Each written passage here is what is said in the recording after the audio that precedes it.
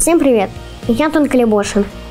Когда мы возвращаемся из магазина, мы приносим с собой картонные коробки с молоком, с соком или же с конфетами. А у меня дома сохранилась еще коробка из-под новогоднего подарка. И я решил сделать из нее кормушку для птиц. Так я и пернатых подкормлю, и коробка не попадет даром.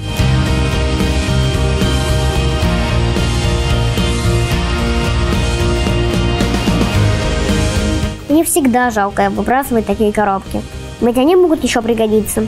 Только представьте, для производства бумаги и картона в мире ежегодно вырубается более 125 миллионов деревьев. А мы так легко отправляем бумагу и картон в мусорное ведро. Одна сторона готова. Теперь вырежем с другой.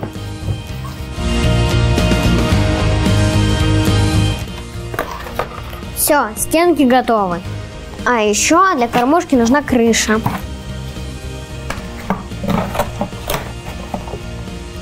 Чтобы защитить корм от осадков. Здесь уже есть готовая веревочка, значит новые нам делать не надо. Все, кормушка готова. Теперь я иду ее вешать на дерево.